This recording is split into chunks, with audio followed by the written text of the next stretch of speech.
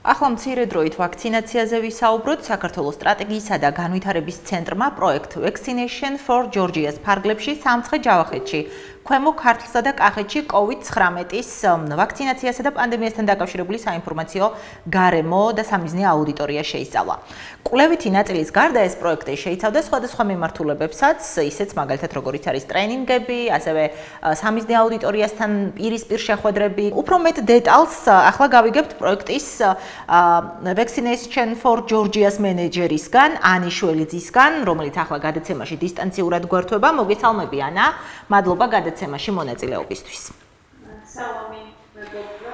აა ანა, მოდი ცოტა მეტი მოვუყვეთ მაყურებელს ამ პროგრამის პროექტის შესახებ უფრო სწორად. ვინ აფინანსებს, ვინ არის თქვენი პარტნიორები და ასევე საუბრის დასაწყისში მინდა კვლევით ნაწილზე გავამახვილო მაყურებლის ყურადღება. რა პრინციპით შეარჩიეთ როგორც რეგიონები, საკვლევი რეგიონები, ასევე სამიზნე აუდიტორია, რომელიც გამოიკვლიეთ? აა აკეთ მადლობა მივესალმები მაყურებელს. პროექტი vaccination for georgia ხორციელდება გერმანიის საერთაშორისო თანამშრომლობის საზოგადოების მიერ საქართველოს სტრატეგიის და განვითარების ცენტრთან პარტნიორობით.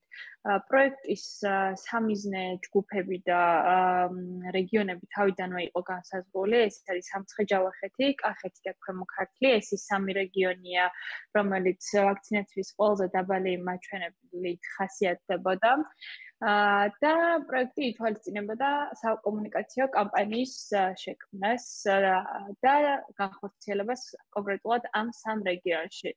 ვინაიდან პანდემიიდან უკვე ძალიან დიდი დრო გავიდა, გვინდოდა რომ გამოგვიკლია ამ რეგიონებში ცხოვრობ მოსახლეობის განწყობები, რა დაჭიროებები და რა კითხვები დარჩათ ვაქცინაციის შესახებ და ამაზე მოგვერგო მე კონკრეტულად ჩვენი კომუნიკაცია და ჩვენი მესიჯები.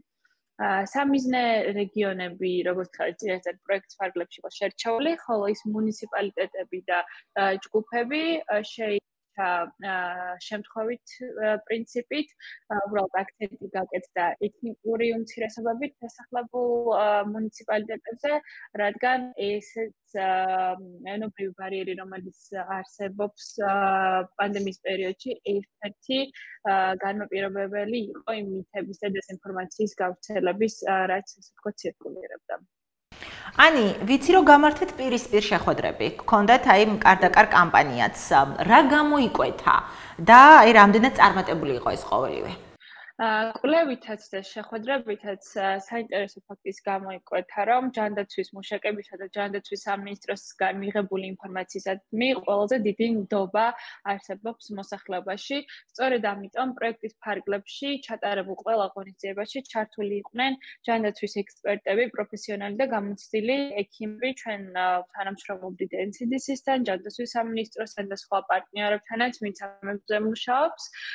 და სწორედ ჯანდაცვის ექსპერტებთან ერთად ჩვენ შევხვდით დაახლოებით 16 შეხვედრა ჩავატარეთ სამიზნე ჯგუფებთან.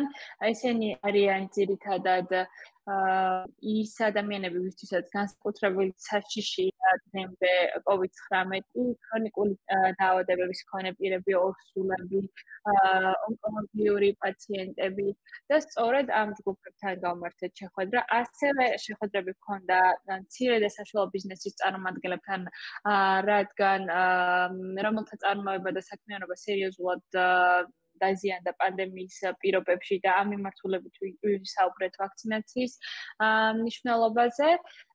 დაახლოებით ჯამში ბოლნისის მარნეულის ახალციხის ახალქალაქის ბორჯომის საგარეჯოს თელავის და კიდე რამდენიმე მუნიციპალიტეტში შევხვდით იქ ცხოვრებ 200-მდე ადგილობრივს. გარდა კონკრეტულად ამ სამიზნე ჯგუფებისა, ჩვენ ასევე გვინდოდა ჩაგვერთო ის ჯგუფები, ვინც არიან აქტორები და აზრის ლიდერები და აქვთ ასე ვთქვათ რაღაც ნდობა მოსახლეობის თემშივე.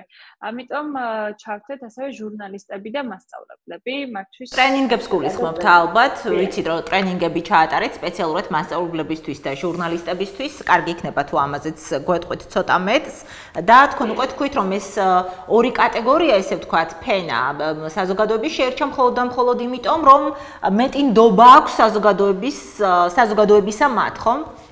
დიახ, აა სწორედ ჯანდაცვის ექსპერტების გარდა სწორედ ისეთი ადამიანების შერჩევა გვინდოდა, ვისაც თემში აქვს ნდობა, ესენი არიან ჟურნალისტები, მასწავლებლები, სხვადასხვა თემატურ ჯგუფთან შეხვედრაზე ასევე იყვნენ თემში მცხოვრები სხვა ადამიანები, ისე იქნება სასულიერო პირები, თუ დამსახურებული მოქალაქეები, კამპანიის სხვა ნაწილშიც რაც მოიცავს ბილბორდებს, ბროშურებს, გადა გადაცემებს აქაც ძირითადად დომინირებდნენ ჯანდაცვის ექსპერტები, ექიმები და ადგილობრივი მოსახლეობა, ვინც უკვე აიცრა და მოუწოდებდნენ სხვებსაც. რაც შეეხება ტრენინგებს, აა მედიის 15 რეგიონული მედიის წარმომადგენლისთვის ჩატარდა ტრენინგი.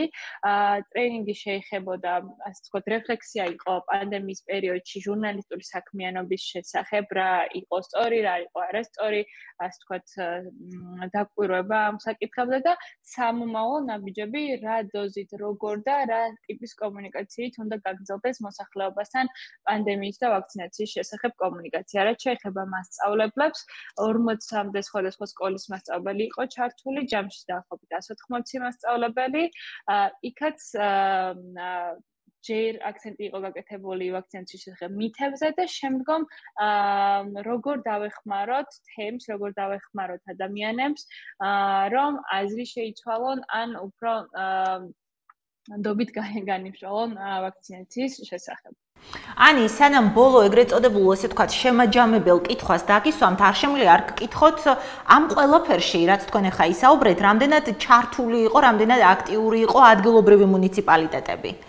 რამდენად ღია იყვნენ თქვენთან სათანამშრომლოდ?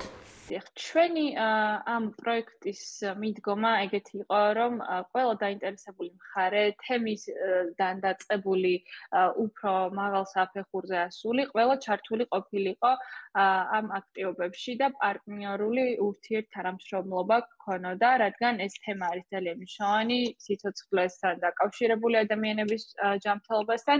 ამიტომ ყველა რგოლი ჩართული იყო აქტიურად, როგორც ვახსენე, NCDC, ჯანდაცვის ადგილობრივი ჯანდაცვის წარმომადგენლები, ასევე მუნიციპალიტეტის წარმომადგენლები ხშირად შეხვედრები იგეგმებოდა მათთან თანამშრომლობით, მათი დახმარებით, ასევე ჩართულები იყვნენ კლევის ნაწილშიც, ფოკუს ჯგუფები ჩატარდა და იქ რაღაც უფრო აა ასე ვთქვათ, თვისებრივი კლევის ნაწილში მათი გამოცდილება და უკავშირიც მოვისმინეთ. ამიტომ ასე ვთქვათ, ყველა მხრიდან იყო ჩართულობა ამ პროექტში. ძალიან კარგი და ბოლო კითხვა, პროექტის შედეგები რომ შევაჯამოთ, ანუ რამდენად წარმატებული და ესე ვთქვათ, სრულყოფილი იყო ის შედეგები და რამდენად შესაბამისობაშია იმ მიზანთან, რაც პროექტის დაწყების, ანუ თავშივე დაწყებისას ჰქონდა ამ პროექტს. პროექტის შედეგების შესაჯამებლად ამჟამად მიმდინარეობს კვლევა. კარდაკარ შეხვედრების პარალელურად კარდაკარზეც მინდა ორეც თქვა მნიშვნელოვანია ის რომ ამ შეხვედრების ფარგლებში 10000-მდე ადამიანს ხვდებით და ვინიშნავთ მან სურვილს თუ აქვს სურვილი აიცრან მობილური ვაქცინაციის პუნქტები ში და იმ შემთხვევაში როდესაც როდესაც მივიღებთ შედეგებს ასევე შევძლებთ რომ დაორგანიზდეს მსგავსი ვაქცინაციის პუნქტები იმ რეგიონებში და თემებში, სადაც ამის სურვილი იყო.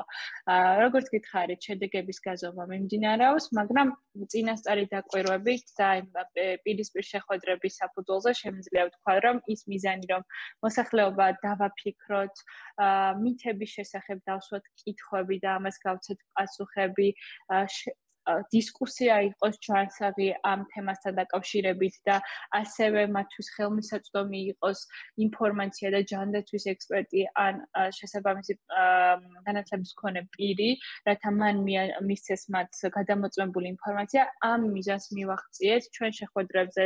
ძალიან ბევრი კითხვა დაისვა, ძალიან ბევრი პასუხი გაიცა მათ შიშებს და ასე შემდეგ.